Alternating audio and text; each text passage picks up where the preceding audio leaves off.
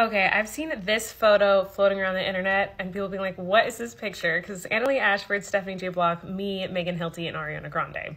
And actually, the legend herself, Megan Hilty, actually just made a TikTok about this, um, so go check that out.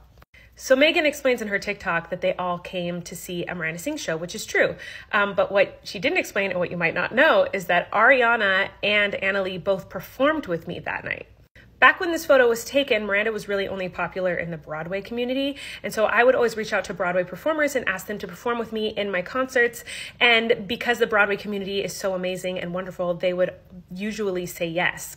And I'm pretty sure that I can go find the footage of me performing with Ariana and Annaleigh that night. Let me go check. Found it. So here's me and Annaleigh Ashford singing If Mama Was Married because she was in Gypsy on Broadway at the time when I asked her to do this with me.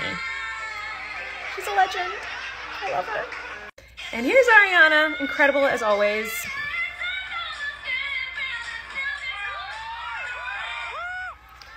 I performed with Ariana a lot back in the day. Um, she's a total sweetheart, and I am obsessed with her. I love her so much.